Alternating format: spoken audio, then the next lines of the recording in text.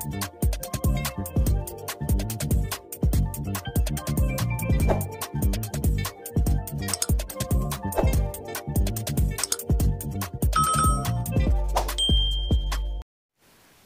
मी शीतल.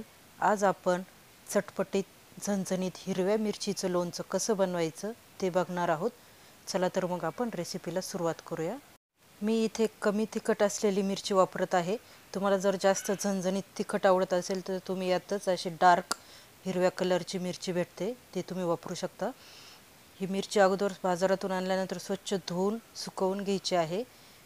एकदम कोरडी करून घ्यायची आहे. एकही थेंब पाण्याचा नको राहिला. त्याचं देठ काढून अशी मधोमध आपल्याला कट करायची आहे.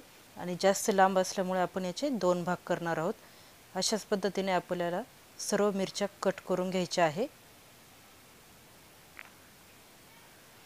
हे लोणचं अतिशय झटपट होतं आणि खायलाही अतिशय टेस्टी लागतं. तुम्ही एकदा नक्की ट्राय करा. इथे आपण सर्व मिरच्या देठ काढून व्यवस्थित कट करून घेतलेल्या आहे अशा पद्धतीने. चला तर मग आपण सुरुवात करूया. अगोदर एका बाउलमध्ये आपल्याला सर्व कट केलेल्या मिरच्या काढून घ्यायच्या आहे.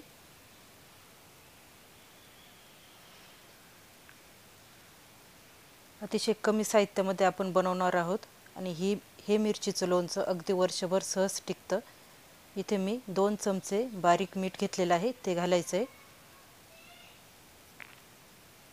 एक चमचा हळद घेतलेली आहे. हळद घालायची आपल्याला मिरचीवरती. लाल तिखट घेतलेलं आहे एक चमचा.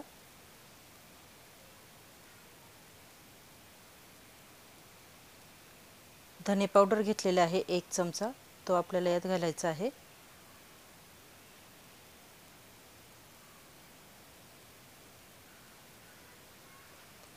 हिंग घेतलेला आहे मी पाव चमचा. हिंगाने मिरचीच्या लोणच्याला चव छान येते. मोहरी डाळ घेतलेली आहे चार चमचे. ती घालायची आपल्याला मिरचीवरती. आणि हा मिरचीचा लोणचे मसाला घेतलेला आहे मी. तो चार चमचे घेतलेला आहे. तो पण आपल्याला यात घालायचा आहे. व्यवस्थित मिक्स करून घ्यायचं आहे सर्व मसाला मिरचीला लागला पाहिजे.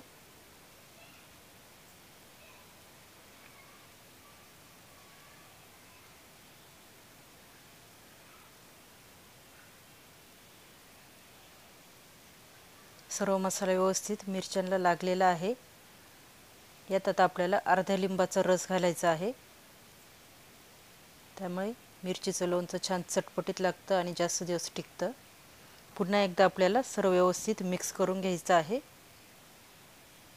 तुम्हाला ही रेसिपी आवडली तर प्लीज चॅनलला सबस्क्राईब करा आणि व्हिडिओला लाईक करा शेअर करा. आणि इथे मी एक कप तेल कडकडीत गरम करून घेतलेलं आहे आणि ते कोमट झाल्यानंतर आपल्याला यात घालायचं आहे आणि सर्व व्यवस्थित मिक्स करून घ्यायचं आहे. अगदी पाच ते दहा मिनटात आपलं मिरचीचं लोणचं तयार होतं. तुम्ही एकदा नक्की ट्राय करा.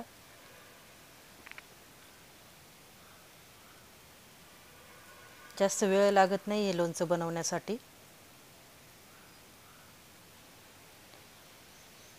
सर्व मसाला मिरचीला लागेल अशा पद्धतीने व्यवस्थित आपल्याला मिक्स करून घ्यायचं आहे. तुम्ही पाहू शकता आपलं मिरचीचं लोणचं तयार आहे. चला तर मग पुन्हा भेटूया एका नवीन रेसिपीसोबत तोपर्यंत धन्यवाद. स्वस्त खा आणि मस्त रहा.